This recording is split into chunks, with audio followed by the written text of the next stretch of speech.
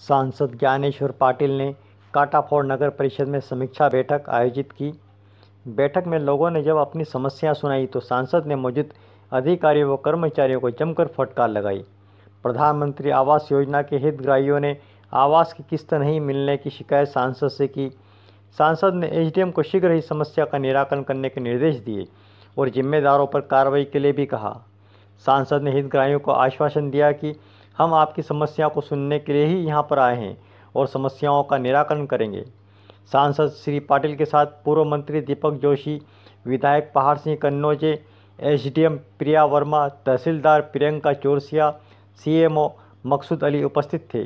उल्लेखनीय कि कुछ दिन पहले भी हितग्राहियों ने आवास योजना की किस्त नहीं मिलने की शिकायत देवास में कलेक्टर से भी की थी। आने के बाद में परिस्थिति समझ में आ गई हमारे बहुत अलग तरह भाई साहब है ना? भैया जल में शरीर की नज़र से क्यों क्यों कहना बंदी समझ गए बात समझ तुम लोगों की मेरे पास में शिकायत आई उसी दिन मैं आया।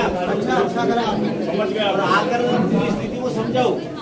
वो दो गरीब आदमी को एक मेरे भैया हम गरीब आदमी को हक दिलाने के लिए तो बात कर रहे हैं। गरीब आदमी को उसका हक है। अब जो है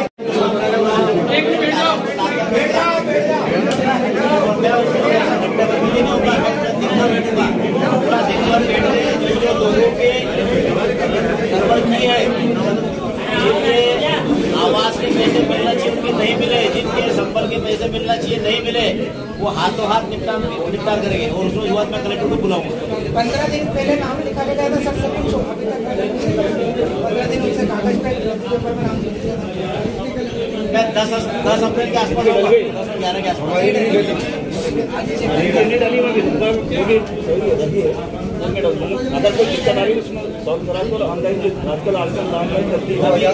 पहले तो एक बात सुनो जो जो लोग बेचारे चक्कर लगा रहे और आपके कर्मचारी अधिकारी भगा देते हैं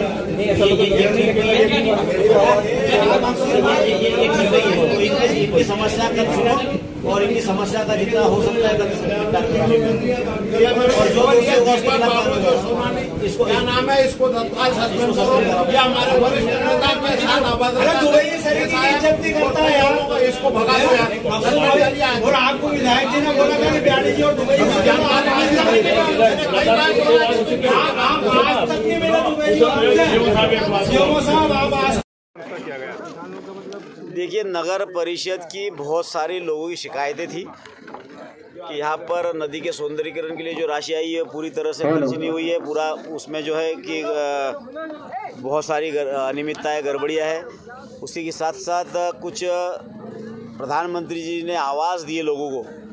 वो आवास का भी कई लोगों को पैसा नहीं मिला है और उनके खाते में चढ़ा गया। कुछ लोगों जो किस्त पहली किस्त एक लाख देना थी तो उनको वो पूरी नहीं मिली है। कुछ लोगों की जो माननीय मुख्यमंत्री जी ने संबल योजना चालू करी थी और सामान्य मृत्यु होने पर दो लाख और एक्सीडेंटल मृत्यु पर चार लाख मिलते थे तो कुछ लोगों की वो शिकायतें भी थी, उनको भी पूरा पैसा नहीं मिला। तो इस तरह की समीक्षा की गई इसमें बहुत सारे लोगों की शिकायतें आई है। तो मैंने निर्देश दिया है एसडीएम को भी कि आठ दिन के अंदर इनकी जाँच कराकर जो भी दोषी होगा उसके खिलाफ एफआईआर दर्ज करवाए और जो दोषी होगा उससे राशि वसूल करके उसको सस्पेंड करें।